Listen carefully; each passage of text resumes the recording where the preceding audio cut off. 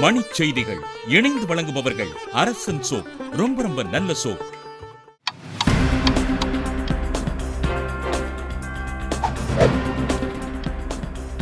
காஷ்மீரில் இந்திய ராணுவத்தினர் நடத்திய தாக்குதலில் ஐந்து தீவிரவாதிகள் உயிரிழப்பு.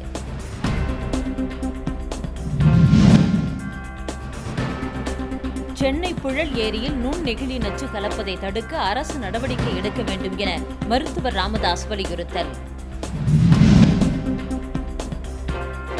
தொடக்கப் பள்ளிகளிலே தரமான கல்வி வழங்க தமிழக அரசு நடவடிக்கை எடுத்து வருவதாக அமைச்சர் செல்லூர் ராஜு தகவல். சின்னத்தம்பி காட்டு யானையை வனத்துக்குள் விரட்ட சுயம்பு என்ற கும்கி வரவழைப்பு.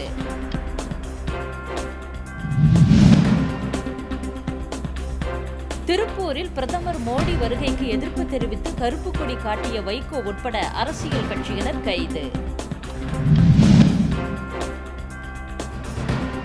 மேற்கு வங்க மாநிலத்தில் யாருக்கும் பாதுகாப்பு இல்லை என மத்திய இணையமைச்சர் கிரண் ரிஜிஜு புகார்.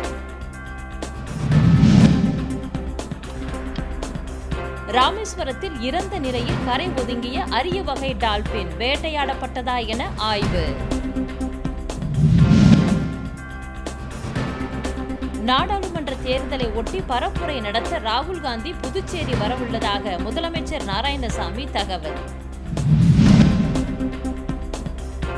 வாக்குகள் சிதறாமல் இருக்கவே கமல்ஹாசனை கூட்டணிக்கு அழைத்ததாக தமிழக காங்கிரஸ் தலைவர் கே எஸ் அழகிரி விளக்கம்.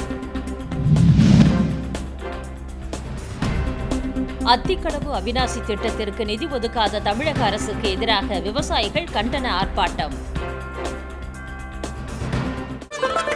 மணிச் செய்திகள் இணைந்து வழங்கியவர்கள் அரசன் சோப் ரொம்ப ரொம்ப நல்ல சோப்.